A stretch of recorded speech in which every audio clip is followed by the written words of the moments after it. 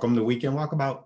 Yep, here we are, back in our gardens and yours virtually. I'm From- Steven Nikkila. I'm Janet Macunovich, and we're garden A to Z.org, and we're talking about diagnosing problems, learning from losses, moving into the fourth of four chapters called Control and Loop Back. And more important, to loop back. We're working off of this outline, which you can download from our website in the About Us webinars section. And what we're working on are some very simple statements control. And the thing to know is that there are always options. Identify what your options are.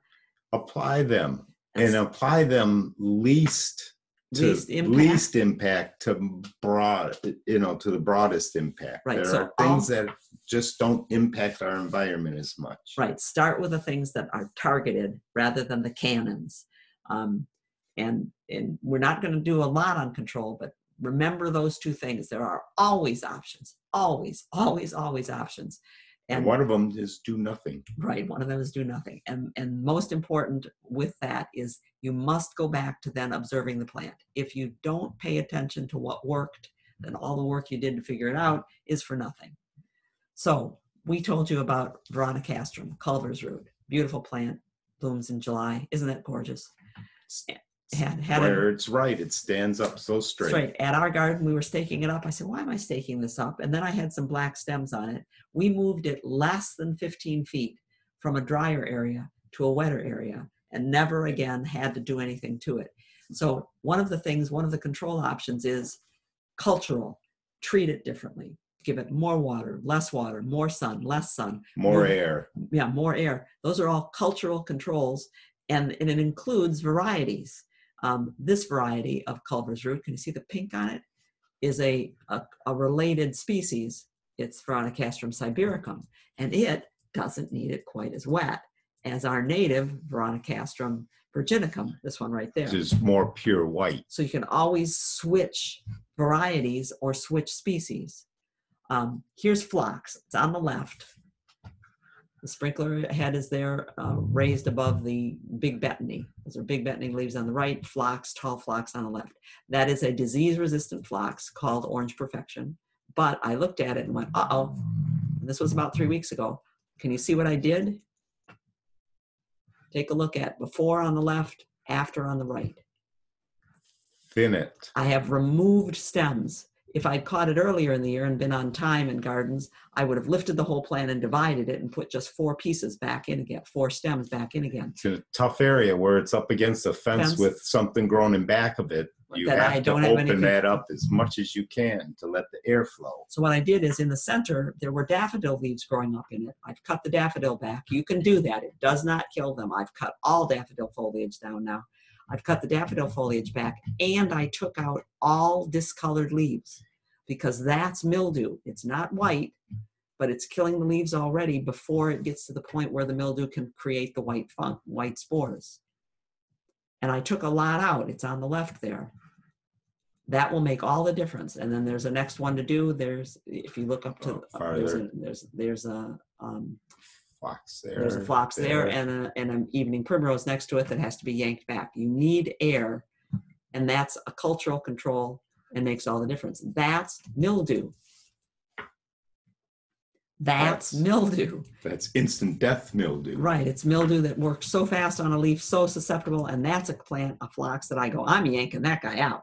Don't gets- even bother. If it gets mildew that badly, I'm taking that guy out of here. Um, cultural controls include releasing ladybugs, and we talked about buying those from Arbico Organics or buying them at your garden center and releasing them, or just encouraging them. Um, Try not to spray to don't kill spray pesticides. Just don't spray pesticides. If you can avoid it at all, it makes all the difference. Predators are just can be very numerous when allowed to live when And- there's food. And they work 24 7. Look what I- deer do when I- we give them food. Sorry. I cried when I was uh, I was pregnant with Sonia, and I was standing out by my spireas, which had aphids on them, and I cr- I, I literally cried. I said, "I'm sorry, you guys. I can't deal with any of this stuff. I'm growing a baby, and I can't handle that stuff. So you're going to have to do this on your own." I never ever again have had to spray aphids with anything other than water. Knock them off with hard wa- with a hard spray of water. Let the ladybugs work on them. It, they take care of themselves. We've been trained to spray chemicals as a first And resort, still being and we should be waiting until later. So I'm looking here at clematis. This is clematis wilt. Clematis gets a fungus problem. If I cut it back and let it grow back, it'll probably grow back. But it's also growing, if you look in the top corner, it's growing in a very tight area. There's no air movement there at all. Move the clematis, you guys. The worst problem there is the euonymus next to it. See the notching on the leaf? That would be your key word there, notching. They're not chewing all the way through to the rib. Weevils. Some do, Weevils eat from the outside in, so do caterpillars, not slugs, not many many kinds of uh, of scraping beetles. And you look and go, okay, euonymus, notched leaves, and you find out, oh man, it's that black, Black vine weevil, which eats hundreds of things, including your coral bells, and does most of its damage as that little thing that looks like a, a rice grain in there. That's the grub over the winter, grazing on roots just like a sheep grazes on grass munching away. and one of them can kill a plant over the wintertime. You have a bunch of them, you're in trouble. I looked around in that garden and said, okay, here's 2011, here's 2013. It looks a little better, but not very much better. And I start looking around in the garden and go, oh my gosh, they're everywhere. That's on Bergenia, notching. The leaves of the vernal sweet pea, notice on the right, are not, they're chewed on the inside. That's a slug or a scraping beetle that's not notching, but there's also notching. I said, oh man, the vernal sweet pea are getting hit by two things. And I went through the garden and found it was everywhere. That's one where I did, we did hire a company to come in and spray one of the um, systemic insecticides at just the right time in late August, beginning of September. Um, I'm sorry, at just the right time in July when the vine weevils were just coming out to kill the adults. And then we added to the soil a beneficial nematode, a predator, and watered it in well in late August and early September in order to kill any grubs that had survived. And that made a difference, but it's a running battle with those guys. It's timing. It, uh, once you decide, if you decide to go any control, it, timing is critical. The the hit the pest when it's the most susceptible. Yeah. If you're putting it down too early, you're wasting money. If you're putting it down too late, you're wasting money. Yeah. And time. and and probably affecting chemicals. something else. So always loop back and start watching again. So we're pruning a, a Japanese maple. I'm showing people someday we're going to do this again, you guys. We're going to do We Garden really by will. Janet's and Steve, and, and we'll be able to go out and do things together again. But I looked, I said that was in 2011. The tree was looking like this. We cut the branches back. It had gotten too big. We shouldn't have waited so long, I told the owner, but we cut it back. And now you've got to watch. And when we cut it back, what we found, one of the things that we found that happened was that the trunk, which had some damage from when it was younger, was going to be damaged again because it wasn't shading We, itself we as took much. too much to shade. That wasn't shading. It, it should have been shaded. So we treated that Japanese maple like we treat this little one that was at Steve's mom's out in the open. Every winter, I covered the trunk with something. It was south facing. It was gonna get sun, and Was in a bad place. Mom, you don't need a Japanese maple here, but she wanted one. she liked it. So we've got evergreen branches uh, uh, tied onto the trunk to shade it. They're just on the sunny side. We've just tied them around. And you remove them in the spring. One year, I was cutting back a false, a, uh, Alaska false cypress, so I just threaded the whole false cypress down there and turned it into a false cypress for the winter time. One time, I turned it into a hemlock. Yeah. Just stuck the whole top of the hemlock down there. One time it was a grass. Yep. It's that's a It's Japanese maple, but we took that grass and cut it up in piece in in bunches and strapped it to the trunk. And we write these things up so that you many of you are seeing this problem on your Japanese maples and don't realize that's what it is. It's the sun hitting that. Fine gardening wouldn't take this article, you guys. They uh, they seem to think that it was too technical. They like prettier pictures. But that's what happens. It starts It starts small and gets bigger. and then one day the tree dies one july day so protect the trunk shade the trunk that's the the grass, grass, we it up. it threaded them down used bungee cords and wrapped them around and said there now you're a grass. Looks very good all through the winter. We do that this is another client's house and i'm only doing it on the side that faces the south and her house. Yeah. okay now reality. It takes time to do these things to look things up. Not everyone allows it for us. They go just do something. They won't let me look into it but all we can do is try, and we're really glad. Boy, are we glad we went digital. Uh, So that I we- didn't want to at first, but but we can look back and you can look back mark your pictures somehow so you can see the progress of things whether they're better or worse from year to year. And we use the internet a lot but just beware of the the bad stuff out there. Look for Just like .edu, everything. .gov. Sometimes you see uh, bot um, and .org. Um, and uh, bot would be um, well anyway, Botanical botanical garden. gardens um, look for your own uh, extension services. I yes it's not just michigan state that has the growing degree days. You see they're there and and use your search engine on your computer. Use the same search engine all the time. What i've learned sonia who's a professor of uh, at a university and i did a search one day on the same substance. We were looking at a substance that i said was in a plant in a uh, uh, a product that we used and sonia said well i looked that up and it comes back as like toxic I said, well, that's amazing. We both did the same search. What I got were the horticultural articles that explained how this item is being used. What she got was kind of the fool's gold stuff. because Google knew what they were searching, Right, and you're- what they searched for, and what they clicked on to see what they wanted to read. we worry, and it's a it's it's well founded that search engines are gathering information about us, but they're also gathering information that feeds Help into the logarithms and starts fine tuning your searches. So use your use your internet, use our website, um, and it's .org. I forgot about that. I, we talked about changing those and we forgot to do it. So you can find our pictures and we we connect you to where we found the information. So for instance, University of Florida was the one that gave me the aha that found Kermes scale, oak Kermes scale. And I found afterwards that they took that one down. I said, "Why?" I had to search all over. I, from from one day to the next, it was gone. So you want to capture where you got things from, so that you can find it again. Because once I got that name, Allokermes kingii, I could find it in other um, in other journal articles. She just likes names like that to say them. Kingii, yeah. Mm-hmm. Um, lots of good information through it through uh, extension universities. I, I go for entomology reports. It, they're terribly dry to read, but they're your good things to look at. Um, and they'll take you through your, your search results, and you can look through quickly and figure out where you want to go. Um, Pest ID at Michigan State takes you to their bulletins. Same thing with Massachusetts, Ohio, Illinois, Pennsylvania. They'll refer you to their bulletins, which are where you find the good, ugly pictures. You don't find these ugly pictures on some of those image searches. Most of or us- in yeah, most of us, yeah, most of us don't see the magnifying kind of things. no. Tar spot, people ask about it a lot. Once Eh, you know it's a spot, you'll find it. Maple spot and tar spot will come up. doesn't go into the trunk, into the wood. Same thing with vegetables. Oh my gosh, distorted carrots. Go look it up. And just be savvy with your image searches because they do go to a lot of things that show you just flowers. Stay away from those. You need to go to image searches that take you to some of the ugly pictures. And oftentimes, to really narrow searches down, you do have to use a scientific name. It's, as a it's Tough a, as it is, it's a to quick way to do it. You don't have to know how to pronounce it. Just have to spell it into it or copy it. it into it. I can't pronounce. So I told you, you you've got growing it. degree day trackers for all your different sta- uh, um, in, universities that tell you your growing degree days. So we've been through that.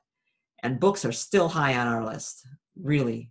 Um, we use a lot of books. Uh, our pest books stay on the top shelf where we with a, are most accessible. and even even older books are still very very valuable. And what Um, we love are the books, the pest books that have index by host plant. So I can look up the plant, myrtle, I can look up the plant, olea, olive, and it gives me a list of the things that happen to that plant. Those are, so when you're looking at books, maybe you're at used bookstores, um, mhm. they're still fun to go and look at. Or somebody recommends a book to you. Check the index. You want to know host plant. You want to be able to find by the plant what happens to it. Um, so Steve was out walking in the field and he came home and he said, Look at this. And I forgot to put a picture in. That's okay, but I flipped open the book. I said, I found that one before. It's Yep. this one. Um, this this particular book that has an index to host plants. It's on your list. It's the uh, insects that feed on trees and shrubs. Has all of the caterpillars in one group, and I actually flipped through back in the old days before the internet, looking for which caterpillar might this be. That was my textbook when I was in college. That's Euonymus webworm, and it only feeds on Euonymus which is kind of nice. Yeah. Um, we've told you before that we like Diseases and Pests of Ornamental Plants by Pascal Pirone because it goes by plant name. So it gives me cupressus or cypress. And in order, not in alphabetical order, but in order of most likely to be seen disease. So canker first, other diseases next. Insects in the on the fold, the first one you're going to see is aphid, then mealybug, then caterpillars. So it, it's a plant it's a book that helps you sort out what's most likely to happen to your plants no color pictures in Pirone, and yes a lot of information that says spray it with this spray it with that. You don't need to use the control information. You Yes. need the identification. It's identification the identification. that helps you. and the life cycle. And for growers of vegetables you want to get in you want to get bulletins from your university. You want to get tomato diseases in their control. Um, and you want to get scouting of houseplants for it. You want to get these books because they're the great pictures. And now most of those pictures are online that's the really wonderful thing that's a uh, handbook of, of uh, Leaf Dis- diseases leaf diseases. greenhouse. Yep. So that's what we brought for you today. And uh, now we can fit in what probably one question. It's 10:03. We came close today. Um, I will do the chat. I'm going to this afternoon. I'm not dressed with my suspenders today because we've got to go pick up a truck. Our truck has been out of commission. Got to go work on that, and then uh, work with the grandkids on a teepee. But tomorrow, I promise, I'll get to all these questions that- somebody has been accumulating. So what have we got that we can do before people? meet? One question that is that is a really hard one. Oh my goodness. Um, okay, Marita, because uh, she used the word please. She said, please advise on Amelanchier that bloomed beautifully and is producing fruit but has orange yellow leaves dropping. What's wrong? scab. It's a fungus disease. Take one of the leaves that's not dropped, go off of the plant itself and hold it up to the light. And what you've got is you've got a scab infection or a mildew infection or both. And chances are that your tree is too tight. Um, is it a multi-trunked Amelanchier serviceberry? If it is, it's grown that way because we consumers seem to like multi-trunk trees. And chances are you need to cut it out. It crowds. They crowd each other off, and and their air circulation again is not the going big, It's the big thing. and again, how many of the leaves are falling too? Right. It could affect the fruit. Yep. our our Amelanchier at our house, our serviceberry at our house, when we moved in, I said, "Oh, good. I've always wanted to have an Amelanchier, but the thing had nine trunks. I've got it down to five, and I'm still going to take one more out. Um, it doesn't need all this. It's I, you're probably going to need to thin it out. You can spray for fun for fungus problems on crab apples and Amelanchiers, but you need to spray as a prophylactic. You can't cure it once it's in the leaf. It wouldn't have needed to be sprayed earlier. Another thing that you can do for that tree, besides thin it out, which it probably needs, is water and fertilize better. Um, if you water and fertilize um, regularly on crab apples and on service berries, the leaves expand more quickly, get a cuticle cover more quickly, and are more resistant to fungus problems. All right. Do we want to do another one or are you guys going to head out? Let's let's do one more, and then you send me the questions. And I know that's making it hard for you to pick which one. No, it's not, not, not a problem. Actually, do have a question right, from yes. um, from Sue, who is hiding as Mike today. Um, she is asking, uh, "How do I get rid of rabbits eating my plants?" Kind of the perfect Oh, way to start. Rabbits are we hot. have a lot this year. Yeah, there are there are three three things to think about with um, with any kind of pest. It's food, water, shelter. Deny them shelter. So a lot of times they hide under a bush and and dot, they they eat mostly the thing they can reach from underneath the bush. quickly. They're coming for you for the food. Right, they're coming to you for the food. So um, either exclude them from the food or make the food taste bad with with things that smell bad, or give them something else to eat.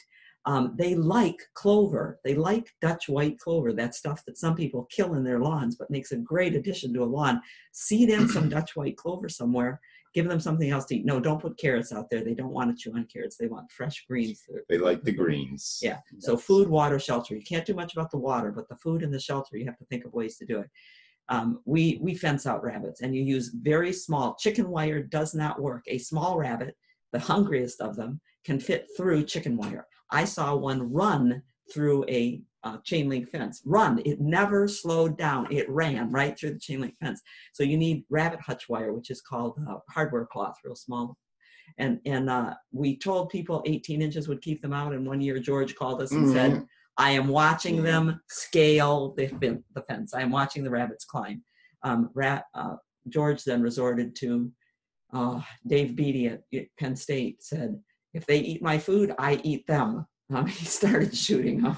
There comes a point where eradication, or not eradication, Yeah, well, you got to control the population Control. somehow because it does. population control. I hope that that's I hope that that's some help, Sue, because it is it is terrible. We're we're dealing with squirrels and deer eating our stuff right now, and it's just awful to say we're so nice to them. Why do they aim for our really nice and, plants? and fortunately we don't have a heavy deer population where we're at they just wander through but some of our clients have where they stay herds, they stay and they are herds. They are you know Yeah. eight eight strong come walking through. and that's exclude them the fencing is Yeah, in botanical gardens they they exclude. Exclude works, but it's expensive to do and takes some time to do. What do we go? Lizzie was asking about choke cherry tree blooms. Then the berry stem becomes distorted into a horn like protuberance, no berries. okay okay score one for the Go ahead. black knot Yeah.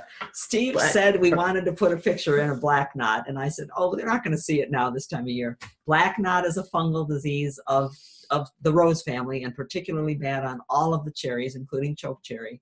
And what's happening is that that fungus is infecting the, the, the flower blossom someplace on that choke cherry. And you'll probably see them best when the leaves are I'm gone. sorry I know help there are some branches that look so- like they've been they've gotten thickened and turned black in some places black knot you need to prune off all of the black knot and you might find that you have a typhoid mary someplace nearby that's bad maybe it's got a a ton of it on it yeah and you need to get rid of that plant but um, pruning manual control can generally take care of black knot you darn you that, that happens so infrequently when i do i i chirp chirp chirp Thank I you promise this much. was this was not planned. I had no idea that was a conversation. you. Well, thank you very, very much for being here today. You, you Thank and you, thank you for the questions. I will sit down tomorrow. Steve and I will sit down and we'll get those written into a chat and send that out with the with the with the key for the recording of this video. So uh, we hope you have a trouble-free growing season. We'll uh, be back with more uh, weekend walkabout next take week. Take care be safe What are we doing next week? have good gardening we are doing Oh, trees and shrubs for small spaces Steve's topic next week. Uh, we're on to we're on to Steve's. Uh, one of one Uh, of the territory. things i really love so thank you for coming. We'll see you later. Be well. take care everybody